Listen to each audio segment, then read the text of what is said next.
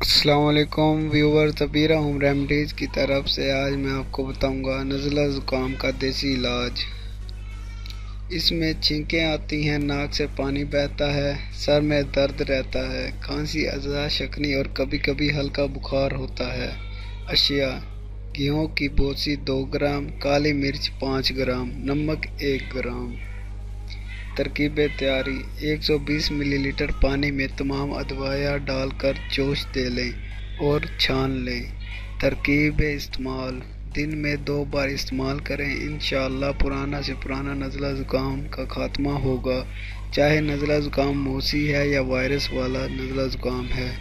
Note, इस नज़ला ज़ुकाम के नुस्खे का कोई साइड इफ़ेक्ट नहीं। मज़ीद वीडियोज़ के लिए मेरे चैनल को प्लीज़ सब्सक्राइब ज़रूर करें। और वीडियो को शेयर करना मत भूलें। शुक्रिया।